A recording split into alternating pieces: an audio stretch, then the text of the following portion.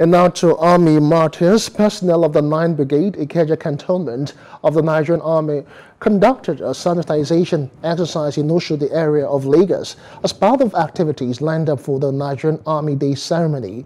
The exercise, which lasted three hours, was done simultaneously in other areas under the jurisdiction of the brigade.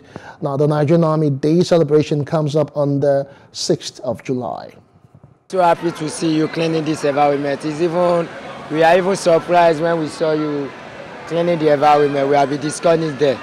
Uh, we are so happy. Really appreciate it. Here to work, and as I got here, I see soldiers. I thought maybe it was a riot or something. But when I saw them with rakes, with broom, with shovel, I was thinking maybe it's here for they are here for duty or something. Yes, as we wake up this morning, we see military people come to our area. That's under Bijo Shodi to come and do the environmental, and we are happy.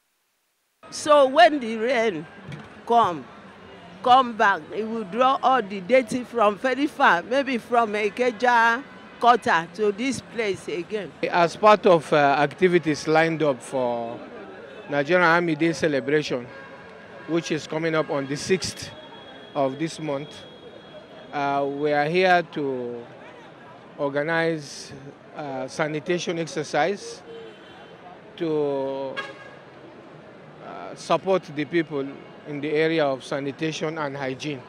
Also to show a good example of how it is important to maintain a very high level or very good level of uh, hygiene and sanitation.